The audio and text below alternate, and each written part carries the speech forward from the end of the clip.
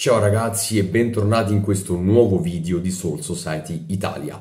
Finalmente oggi andremo ad analizzare uno dei bancai più belli all'interno della storia di Bleach e ovviamente sto parlando del bankai di Rukia Kuchiki, la nostra amatissima co-protagonista della storia che per l'appunto è stata protagonista probabilmente della puntata più bella all'interno della seconda stagione della sanguinosa guerra dei mille anni. Lo scontro con Asnot è sicuramente stato, secondo me, eh, poi questo è il mio parere soggettivo, l'apice di questa seconda stagione. Un po' come fu il combattimento tra Yamamoto e Royd nella prima stagione.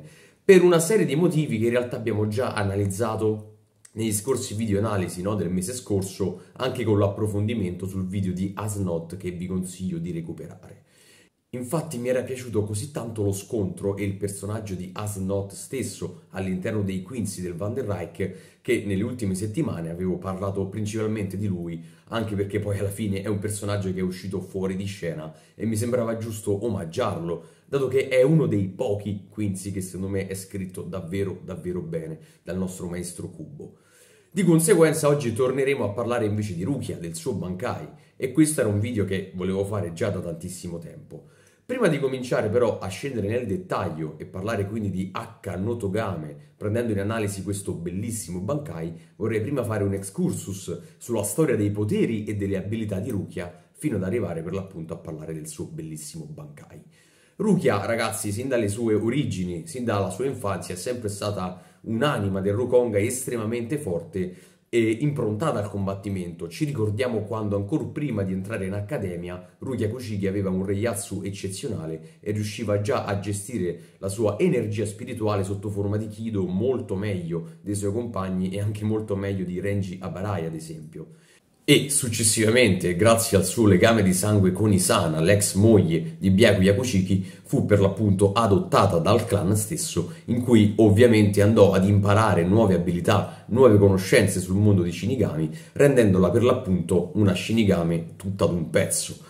E infatti già all'inizio della storia in realtà Rukia Kuchiki è uno Shinigami estremamente forte.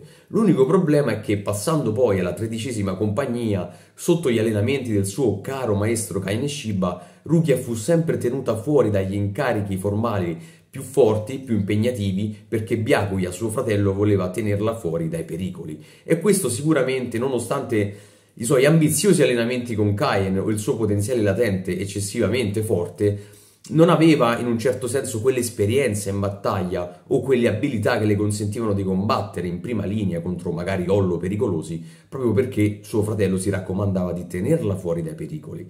E forse questo è anche la, non so, la spiegazione del fatto che Rukia nel primo episodio commette un errore di valutazione estremamente banale, perché per salvare Ichigo si butta a capofitto sull'ollo quando in realtà poteva ucciderlo magari alle spalle. Sicuramente il fatto che Byakuya l'avesse sempre tenuta fuori dai combattimenti reali ha fatto sì che Rukia fosse un po' più ingenua. In realtà poi ovviamente con il proseguo della storia Rukia nei combattimenti invece sarà estremamente forte e soprattutto estremamente efficace, perché sì, Rukia forse non ha mai perso uno scontro, probabilmente contro Yammi o quegli scontri lì un po' secondari l'abbiamo vista in difficoltà. E infatti, dopo la riacquisizione dei suoi poteri Shinigami, eh, dopo la saga della Soul Society, Rukia ci mostra per la prima volta il suo Shikai e la sua Zanpakuto, Sode no Shirayuki. E ragazzi, questa è la Zanpakuto più bella esteticamente all'interno della storia di Bleach, e non lo dico solo io, ma proprio all'interno della Soul Society si dice che questa lama di ghiaccio sia la più bella all'interno della Soul Society, delle Zanpakuto elementali, mentre Itsugaya ha quella più forte, Ruki ha sempre avuto quella più bella.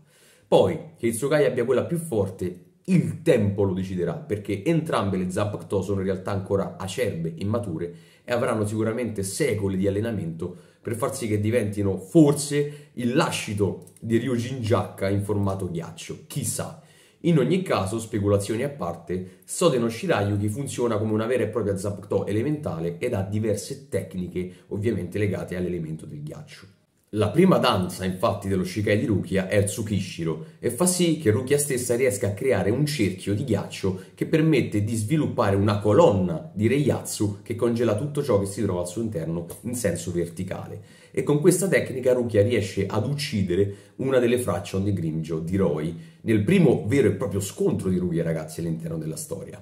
La seconda danza invece è l'Akuren che fa completamente la stessa cosa, soltanto in direzione orizzontale. Rukia riesce quindi a creare dei cerchi d'aria congelati per bloccare i propri avversari all'interno. La terza danza è quella più interessante perché è la terza danza con cui riesce a sconfiggere addirittura Aroniru Arurueri, il nome spada che aveva rubato in maniera così subdola, subdola le sembianze di Kaien Shiba, il suo caro maestro. E probabilmente Rukia è riuscita a vincere in quel momento con la terza danza, principalmente con l'effetto sorpresa perché questa terza abilità consente alla lama di Rukia, anche se rotta, di ripristinarsi e quindi di proseguire l'attacco e in questo modo riesce infatti a tagliare la testa di Aroniro Aruruerie. Senza parlare poi che in quello scontro, che è uno dei miei preferiti ragazzi, non soltanto quello con Asnot, ma quello con Aron, Aroniro, per vari motivi, io piango ogni volta che vedo quello scontro per le emozioni che mi lascia, soprattutto perché c'è Rukia contro il suo maestro, contro il fantasma del suo maestro e contro ovviamente i propri demoni del passato, perché sapete bene Rukia si è portata dietro per anni il fardello di avere ucciso il suo amatissimo Kayan Shiba.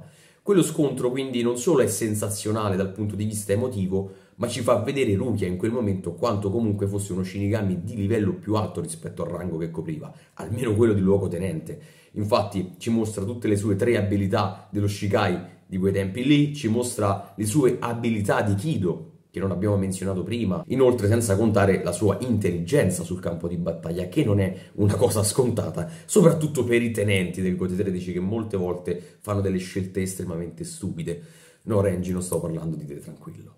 In ogni caso, Uh, Rukia proseguirà i suoi scontri anche nella saga degli Arrancar, ad esempio contro Rudborn in cui ci mostra altre tecniche dello Shikai come il congelamento delle radici uh, che colpivano Arbora che era la resurrection per l'appunto di Rudborn, il capo degli Exequias e poi abbiamo il time skip. Ovviamente dopo il time skip nella saga del Fullbring quando Rukia torna a ridare i poteri ad Ichigo è già un luogotenente di carica e poi inizia ovviamente la sanguinosa guerra di mille anni in cui avrà grazie all'evoluzione in corso con l'allenamento insieme a Renji nel palazzo reale di Ichibei, il suo massimo potere, la sua massima evoluzione di potere, perché scoprirà il potere latente eccezionale di Sodino Shirayuki.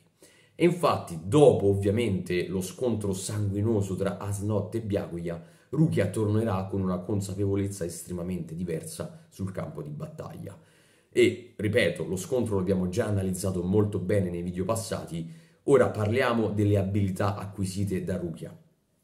Non soltanto il Bankai, ma anche lo Shikai cambia radicalmente. Possiamo ammettere che lo Shikai di Rukia nuovo, la vera Sode no Shirayuki, la te- l'autentica Sode no Shirayuki, così come la chiama lei, è forse uno dei Shikai più forti, ragazzi, eh, che abbiamo visto negli ultimi tempi perché in un certo senso il corpo stesso di Rukia diventa un'estensione del potere di ghiaccio della lama di Sodeno Shirayuki e questo lo vediamo quando piano piano inizia ad abbassare la temperatura corporea. E questo era ovviamente un rimedio per sconfiggere le frecce intrinse di paura di Asnot. Congelando i propri resci, le proprie cellule, Rukia arriva fino allo zero assoluto. E lo fa in una maniera estremamente graduale perché è ovviamente un'abilità che mette a repentaglio il corpo stesso di Rukia. Perché è ovvio, è un potere nuovo, ha bisogno di secoli forse per arrivare al massimo del controllo, un potere così devastante. E infatti piano piano quando Rukia scende di temperatura vediamo che ci sono degli effetti sul suo corpo, sull'avversario e sull'aria circostante. Addirittura lei riesce a congelare il flusso sanguigno, riesce a creare dei criosismi, ovvero dei terremoti causati dalle molecole che rimangono immobilizzate dal ghiaccio, fino ad arrivare alla temperatura assoluta che è lo zero, meno 273 gradi, in cui ogni forma di luce, di cellula o di esistenza viene congelata all'istante. Questo è molto molto interessante, è un potere fortissimo che, beh, secondo me può in potenza spodestare il potere di eh, Yorinmaru. Ovviamente, ragazzi, fan di Tsugaya, non vi avvelenate contro di me, però in futuro un potere così può, secondo me, arrivare a battersela sul record di potere di ghiaccio nella Soul Society. Ovviamente questa è una mia considerazione, non stiamo facendo le gare tra chi è più forte, però secondo me è una maniera molto più intelligente in battaglia di utilizzare il ghiaccio. Ok? Poi ovviamente non faccio spoiler, non entro in quello che vedremo anche su Itsugaya in futuro perché ci sarebbe da commentare, magari sarebbe carino fare un video proprio apposito no? in cui paragoniamo le due abilità. In ogni caso torniamo a noi, vediamo questo Shikai estremamente forte e non solo plasma il nuovo potere di Rukia ma anche una nuova consapevolezza Rukia è gelida anche nell'animo, lo vediamo dal suo sguardo, deve battere un avversario temibile, deve battere le sue paure e deve vendicare ovviamente il danno che Asnot ha recato al suo caro fratello. Purtroppo però il suo Shikai non è abbastanza per sconfiggere il terrore primordiale che Asnot riesce a infliggere tramite gli occhi di Rukia con Tatar Foras. E in quel momento suo fratello Byakuya arriva sul campo di battaglia per aiutarla e salvarla. Ma non l'aiuta soltanto, ragazzi, dà a lei la consapevolezza e ovviamente l'obbligo di sconfiggere Asnot come rivendicazione. Perché molti di voi possono pensare, beh, Ruki è stata aiutata da Byakuya, eh, oppure Byakuya doveva vendicarsi di Asnot. No, quello era lo scontro di Rukia, perché Byakuya, ragazzi, in quel momento ha un'evoluzione incredibile del suo personaggio. Dopo tutto quello che ha passato e dopo ovviamente i comportamenti, beh, molto discutibili, soprattutto in merito all'esecuzione di Rukia, basati sui suoi giuramenti, ovviamente, che aveva fatto in passato, Rukia ha avuto in un certo senso il suo riscatto nei confronti di suo fratello. E Byakuya sì, sicuramente ha avuto il modo di apprezzare per la prima volta Rukia come degna Shinigami, come degna sorella e come degna donna del clan Kuchiki. Quello è uno dei momenti più belli, ragazzi, mi si scioglie il cuore ogni volta che vedo quella puntata. E Rukia infatti riesce a trovare il coraggio, quasi in lacrime, così commossa dal fatto che Byakuya abbia finalmente accettato e approvato il suo vero potere. E quindi suo fratello gli lascia utilizzare il suo bellissimo Bankai H Notogame un Bankai che si dirama in alto, che va un po' a ricordare il Bankai di Sasakibe, se vi ricordate, con la colonna elettrica. Questa colonna di ghiaccio si alza verso il cielo, il raggio d'azione si espande per centinaia di metri e congela qualsiasi cosa alla temperatura dello zero assoluto. E in quel momento, ragazzi, Rukia si trasforma in una vera dea di ghiaccio, perché il suo kimono cambia, si espande, i suoi capelli diventano bianchi, la sua pelle candida e invisibile e la sua lama trasparente. Ragazzi, esteticamente è davvero forse la trasformazione più bella all'interno di Bleach e sembra molto speculare al Mugetsu di Ichigo, anche perché vi ricordo che Tsukishiro, la prima tecnica di Sode no Shirayuki, è luna bianca, mentre il Mugetsu era assenza di luna, l'eclissi di luna nera. Quindi c'è una netta anche contrapposizione di Kubo per legare due personaggi, Ichigo e Rukia, no? Estremamente figo, bellissimo.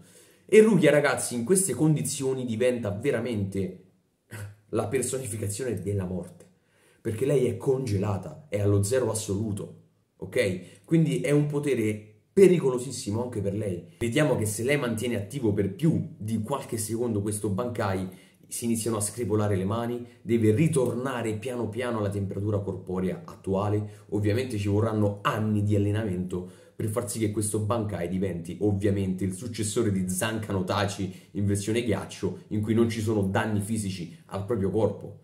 Adesso ipotizzo una cosa, ma immaginatevi un giovanissimo Yamamoto che era alle prese con le sue fiamme, sicuramente anche lui rischiava qualcosina per il suo stesso potere di fuoco.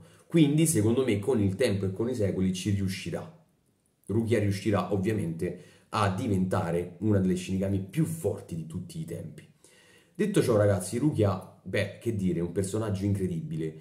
E per finire questo video, che non doveva essere solo un video analisi in cui commentiamo il potere, voglio darvi anche una nuova chiave di lettura per vedere l'evoluzione di Rukia fino a questo momento. Infatti una delle tecniche narrative di Kubo sicuramente più interessanti sono il foreshadowing, il fatto che lui abbia sempre collegato magari degli indizi presenti all'inizio della storia fino alle fasi finali del manga. E ragazzi, posso dirvi una cosa, se leggiamo ad esempio le frasi di apertura di ogni volume, e vediamo soprattutto quelli legati a Rukia, possiamo trarre le nostre conclusioni. Kubo aveva buttato già degli indizi sui poteri di Rukia e soprattutto sulla sua evoluzione come personaggio. Perché nel secondo volume, che ritrae Rukia, beh, si cita una delle frasi più famose di Bleach che è «Gli uomini hanno coraggio perché la morte è invisibile ai loro occhi». Questa frase è importantissima anche per il finale di Bleach, secondo me, ma ne parleremo in altre sedi ovviamente, ma la morte è invisibile e lo rocchi. Ragazzi, Rukia diventa letteralmente la personificazione della morte invisibile nel suo Bankai, è qualcosa di estremamente connesso. O se ci pensate un attimo, nel volume 30 di Bleach abbiamo Kaien Shiba in copertina che, a cui è dedicata una frase estremamente incentrata su Rukia, no? Quando dice il tuo delitto scarlatto scolorirà con la morte. La tua profonda ferita è come gli abissi. Ovviamente quello è un rimando al suo potere, gli abissi dell'oceano, no? L'acqua di mare di Kaien Shiba, ma la tua ferita scarlatta scolorirà con la morte, il tuo delitto scolorirà con la morte. Che significa questo? Che Rukia prenderà consapevolezza no? delle proprie paure passate, del delitto che lei ha commesso, ma scolorirà con la morte. Cosa che farà con il suo Bankai, no? Combatterà le sue paure, i suoi fantasmi del passato, esattamente scolorendo, come la sua Zampactò, come la sua lama, che personifica la morte. Bellissimo ragazzi, bellissimo. Tra l'altro in quel momento Asnot dirà io ho paura di morire davanti a una morte invisibile che è Rukia. Si ricollega tutto quanto. Veramente eccezionale ragazzi. Inoltre nell'ultimo volume d'apertura che ritrae Rukia c'è una frase bellissima che è ovviamente un incoraggiamento nei confronti di Ichigo che dice se puoi ammettere che l'unica cosa che non muta in te è il cuore, allora quello è il coraggio. E ragazzi, questa frase è perfetta per il finale dell'evoluzione di Rukia, perché lei accettando il proprio cuore, l'immutabilità del proprio cuore, rimanere salda sul proprio coraggio, lei riesce in questo modo a sconfiggere le proprie paure, un po' come diciamo eh, si evince dal dialogo con Byakuya e diventerà la donna forte e matura che si è evoluta nel corso di questa storia. Io sono profondamente affezionato a Rukia perché noi cresciamo insieme a lei, cresciamo insieme ad Ichigo, ma Rukia ragazzi davvero è la personificazione del coraggio. Quante volte Ichigo è caduto e grazie a lei si è rialzato. E ovviamente un rapporto eh, paritario perché Ichigo ha sacrificato la sua vita, ha rischiato la sua vita per salvare Rukia ovviamente da morte certa. È un'amicizia stupenda quella tra loro due, forse una delle più belle nella storia dei manga. Però ragazzi Rukia è un personaggio che davvero ne ha passate di cotte e di crude. È morta sua sorella quando era bambina, è stata abbandonata viveva in un villaggio povero insieme a Renji, ha visto morire tutti i suoi amici in adolescenza, dopodiché viene in un certo senso costretta no? a essere adottata in un clan gelido, freddo, inaffettivo, trova una vera famiglia, una seconda famiglia con Kaien Shiba e lei è costretta ad ucciderlo.